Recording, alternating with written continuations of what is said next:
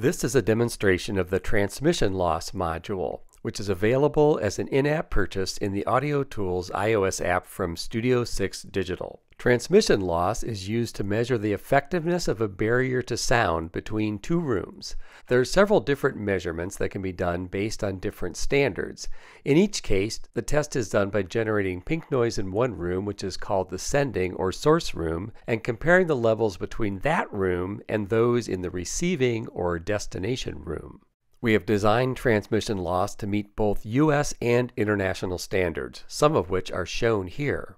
The internal iOS device microphone may be used for these tests, or use it with our iTest mic for Class 2 results or our iPrecision mic for Class 1 performance. Note that it is possible to certify the entire device as a Class 1 instrument by sending iPrecision mic and your iOS device to an independent testing lab. Let's look at the settings for transmission loss. First, select your desired test results STC, RW, DNTW, or OITC. Enter your room dimensions and insulating wall area if your test requires those. Turn on ambient noise correction if desired. If you turn on the automatic gain range control, the system will automatically select the mic high range in the sending room and the low range in the receiving room for you as you do the tests. In this example, we're going to perform a simple STC test, so we won't need ambient noise correction. We will start in the sending room.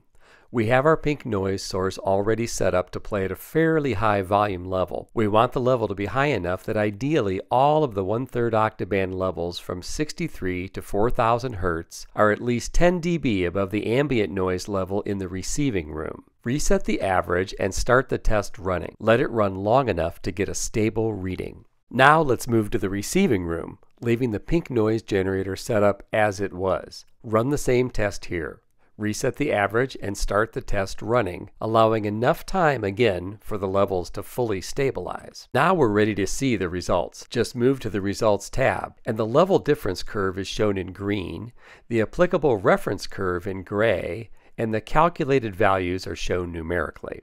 Now let's set up for an RW test. Just change the test type and let's turn on the switch for correcting ambient noise. Just as before, we'll start with a test in the send room with pink noise on, then move to the receive room with the pink noise on, and then we'll do one more test in the receive room, this time turning the pink noise off. This will be our ambient noise level test. Next, we will test the RT or reverb time in the receiving room. Tap the RT button to bring up the receiving room RT screen and then tap Test RT.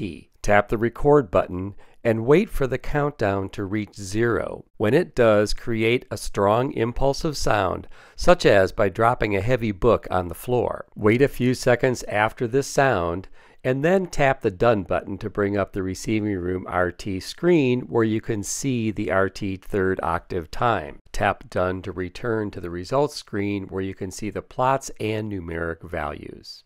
Next, we will look at how the Save Recall system works with transmission loss. From the Send to Receive tab, you can store as many level tests for the room as you wish. When you recall a test, you can replace the current results with the stored test or average the recalled test into the current levels. This allows you to average any number of level tests for each room. The name of the most recently recalled room will appear on the results page. On the Results tab, Saving will store the current send, receive, and ambient levels, the current RT times, as well as the test results. When you recall from the results screens, all data on every screen is replaced by the stored results. Note that Dropbox and iCloud are supported here as they are in other Audio Tools modules to make file transfer to other devices or computers easy to do. This completes our demonstration for transmission loss by Studio 6 Digital.